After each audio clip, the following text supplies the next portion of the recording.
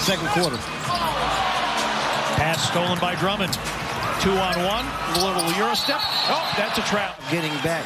Just playing games with Andre Drummond. Played enough games to force him to shoot the air ball.